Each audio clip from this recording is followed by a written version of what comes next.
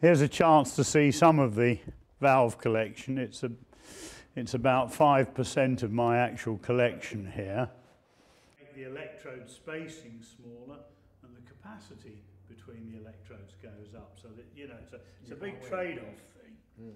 And this is a, the Fleming diode from, well, 1889 if it's original.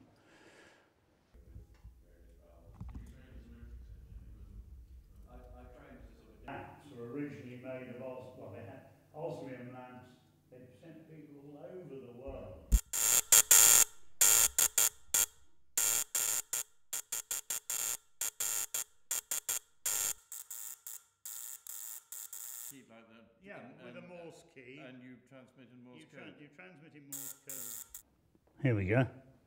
Ah, Ah, well done.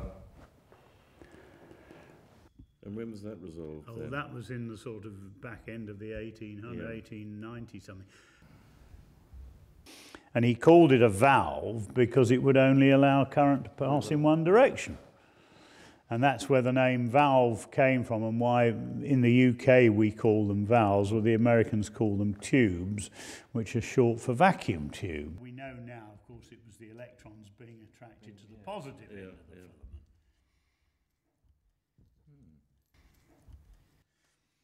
The valves here in this shelf are all from the 1920s.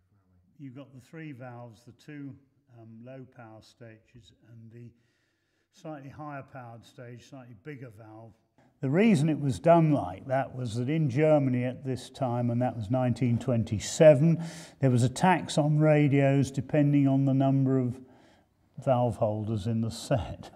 So this only needed one valve holder, so you paid less tax. As we'll, we'll um, see some of the other bits and pieces.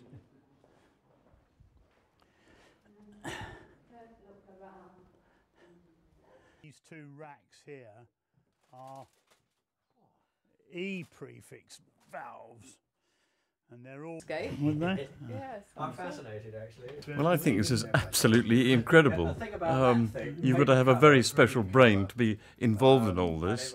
I understand that he has over a quarter of a million valves here, um, in, and that is not really including his private collection of antique and really, really historically interesting valves.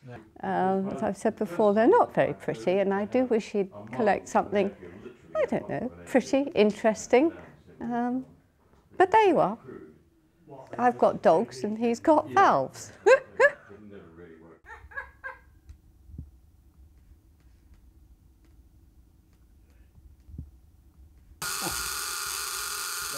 These things are called Geissler tubes. They were invented long before valves when they first discovered that an electric current would go through a, a, a, tu- a tube containing gas. It ionizes the gas and the ions are what give you the effect.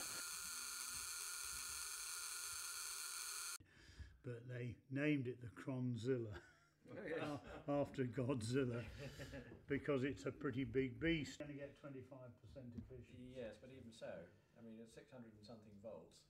Well, it's a it's a, it's a mobile phone package that's got access to the internet via the mobile phone network, and it all started with a few sparks and a coherer over a hundred years ago, and there it is. And that's a hundred years of progress. I think sometimes we'd never have had the house. He only bought it to house the valves.